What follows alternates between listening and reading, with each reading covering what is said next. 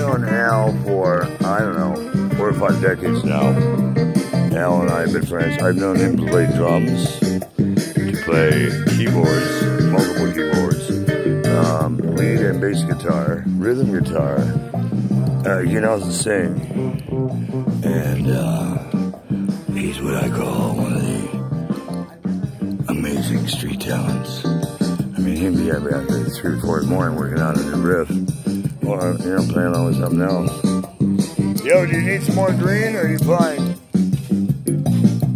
Ain't no sunshine when it's dark, dark, dark. Do you have some money so I can hit the uh, store? Can I can I get the money to hit the store to get some cigarettes, Dad?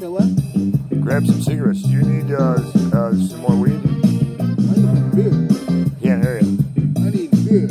Well, I can hit, get you beer when I'm going to buy some cigarettes.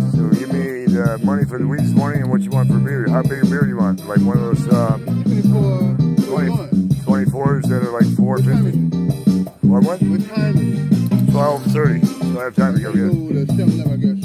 Oh, no, I was going to go up to Santa Monica to Star Liquor and get a better deal up there. Uh, we, Weed, only a dollar? No, I give you like, you know, it was a $65 eighth. I gave you like 20 this morning.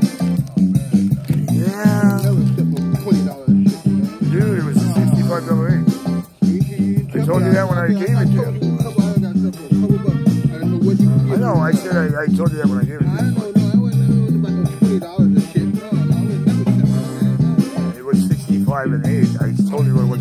I'm not, I'm not going to bust your balls about it, but how much beer do you want?